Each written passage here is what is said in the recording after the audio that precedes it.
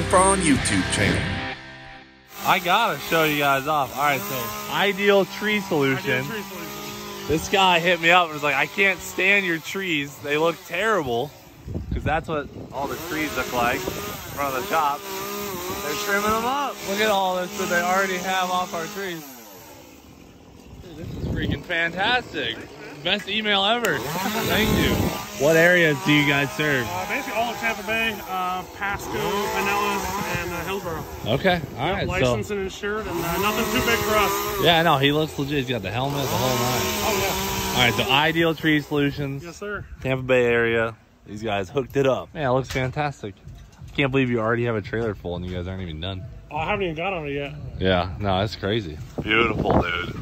They look a little weird at first when you trim these puppies up a bunch, but they grow back and look perfect. He said that that's about five or six years of not being trimmed. Y'all worried about my back? I got them Coast Guard seats now. Check this out. So I got these from Backwater Boats, and you can actually you add and lower pressure in this sucker with like a tire pump, and then it goes like this so that when you hit a wave in the front, the seat actually moves forward and down. Fancy. I'm gonna be honest. After the Key West trip, my back was a little cooked. So we're getting that upgrades, you know what I'm saying? Plus, you know, I smashed into a log at 50 mile an hour. That might help you. Yeah, I got one for Maddie too, because her back hurts too sometimes after I hit too many logs in one day. So same seats and everything, but they'll just be mounted on these uh, shockwave deals. And then adding in a foot bar. While I was on the Key West trip, my sound bar ripped off of the top. You know, because I was hitting those freaking massive waves. So we're just kind of getting this thing revamped. She took, she took a lot of abuse in that five or six month period that it was running. Yeah. Yeah. But uh, everything else is in pretty good shape. Looking pretty good. That's pretty cool. Ah, goose, goose. That's a Backsaber 9000 right there, boy. Hell yeah. I don't even think we have it adjusted right yet.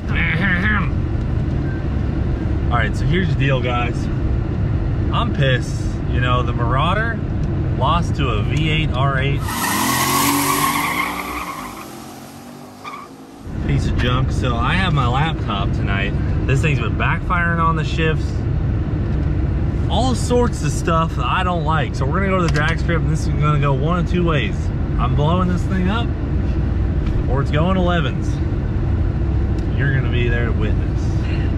I feel entitled. honestly the thing the way i've always just like my the way my brain works it could be trying to go personal best and bullet or a personal best in a 12 second hopefully 11 second car and it's just as exciting for me for some reason so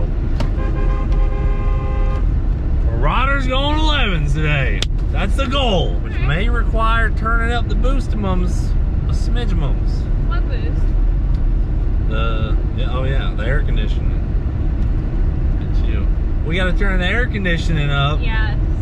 a couple uh, Yeah. psi. That'll change everything. You're darn right it That'll will. pick up some speed. Yep, yep, yep, yep, yep. All right, Right. guys. I found a problem. What's the issue? Doesn't have anything to do with my computer. It has nothing to do with this cord either. But basically, the rev limiter was set right above the shift point, so I think the car was just kind of creeping over the shift point and then hitting the rev limiter, and that was that big pop. I raised rev limiter, didn't lower the shift point. I also found out that the boost controller may not have been set where I wanted it to. Maybe a little bit lower than it should be this whole time. So I'm just gonna leave a lot of this stuff alone. We're gonna get a data log of the air conditioning's information on this bone stock Marauder, mm-hmm. and then we'll make some adjustments. But it might go 11s without just backfiring, so we'll see. Are you gonna show us? It's go time. Oh. Now this stuff's, I'm just writing an email. Oh, okay, yeah. okay. See right. you there. All right, see you there. All right, guys. Okay. We're doing this. Ah, uh, see, my cord's gonna be stuck in the window. We're data logging. Let's pull up and get a nice little burnout going.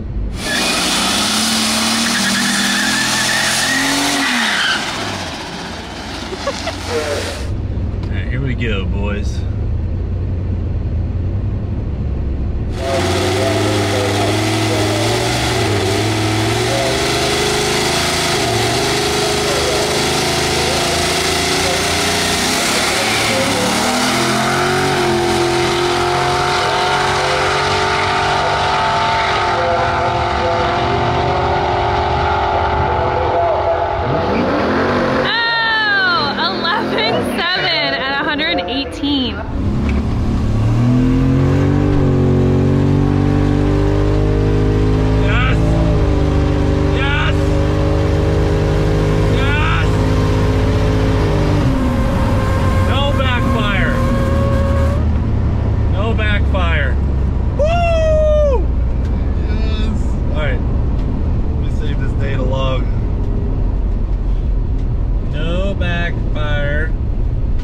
Didn't feel like a lot of boost though. You know what I'm saying? I was like, very tame. Very tame in the boost department, but we have our data logs. Thanks, man. Appreciate you. 1175, boys. Are you serious? Yeah, dude, that mile an hour, 94 mile an hour in the eighth. That is a weak. Those are weak numbers. Dude, I bet you this thing could run a 10. 100, so 1175 at 118. 118 mile an hour. That's getting down, boy. All right, so we got to get the short track down on that. We had a 1860 foot, technically 179. So I'd really like to pump those numbers up. Hard not to be fired up about that. Mission accomplished, first rip. All right, so oil pressure's good, fuel temp's good. 1175 though, what did I say? I wanted to go on 11? I know, you did it. knocked off like a second Woo! over last time we were here just because of that backfire. I want to see how much pressure was in the air conditioning, how many PSIs, you know, being that it's stock, you gotta use the air conditioning and tune it. Right. See how much PSI that made and then maybe turn up the air conditioning for the next run. Yeah, full Okay. blast. Boys, woo, guys, we're talking 11.3 pounds of air conditioning. 11.3. Didn't even leave on a pound of boost. Left on actually zero PSI of air conditioning. We were right at vacuum. I'm gonna try and heat the brakes up before I go up there. Let this sucker eat. 20 oil pressure mint, fuel pressure good. Duty cycle only 60%? 63%? Let's try and throw some more air conditioning at this puppy. You know what I'm saying? All right, guys. I named this email to my car Spicy Deluxe. So let's see if it's a spicer. The way I see this is that we got a lot of fuel left. You know, like we got a lot of decent bit of fuel system left. I think. We'll see how this one goes. Say we use every bit of it because I think we got enough air conditioning. All right, let's get a nice little another burnout here.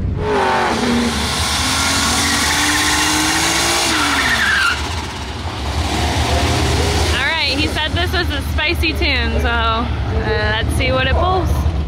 All right, brakes are a little warmer now. That's good. Oh, back windows are down. All right, come on. Like to build a little bit of boot of air conditioning. Hold, baby.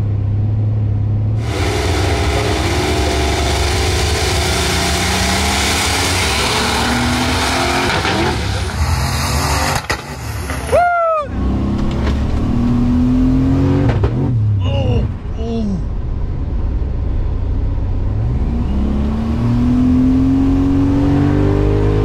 Oh! All right.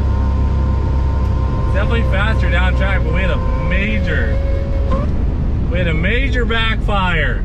Unbelievable.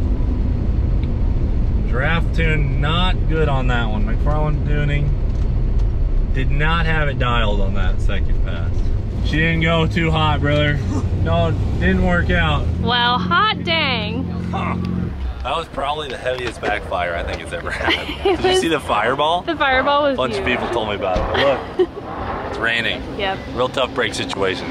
Classic. Happens to us every time we try and drag race in the summer in Florida, but it's all good. We got some runs in. At least I have a data log of it backfiring now, and uh, I think I can fix it. So I guess it's not the rev limiter. I thought it was. Guys, after digging into the data log, we found a couple things that may be the problem here. The car might be losing crank signal for just a split second, so it has no RPM signal, causing a backfire. And the other thing is, it's getting an oil pressure dip on the 60 foot because it's just taking off so fast now. And there's a timing offset table for low oil pressure, and it yanks out like 20 degrees of timing. That could be causing it. So I'm going to try running it with more oil in it and also doing a different type of data log that allows me to see the crank signal. And we're going to go from there, see if it helps. But that's it for today, guys. A little Marauder action for you. Thanks for watching It for Dale. We'll freaking see you later.